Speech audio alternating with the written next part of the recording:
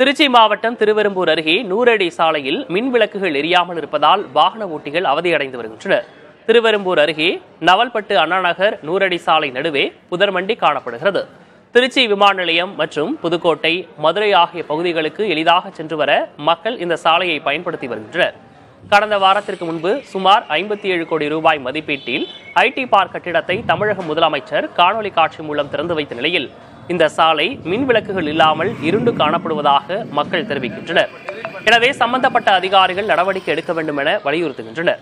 இதுகுறித்து நவல்பட்டு பஞ்சாயத்து தலைவர் ஜேம்ஸிடம் கேட்டபோது விரைவில் மின் விளக்குகள் பொருத்தப்படும் என்றும் தெரிவித்தார்.